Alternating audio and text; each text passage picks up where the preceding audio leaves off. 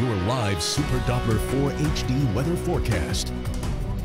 Hi there. We've got flash flood watches. The areas in green. We've got wind advisories for western North Carolina, for the Midlands. Uh, in fact, the entire area is under some sort of advisory today as showers and thunderstorms are rumbling through the area. There's the potential for damaging winds. We'll, of course, update you should there be any severe weather breaking out across the area. But this is going to be the story today a 100% chance of rain. Still mild for the upstate and the mountains. It'll reach into the low 60s for afternoon highs today. And again, very strong gusty winds are possible across the area, so watch out for potential trees that could be toppled.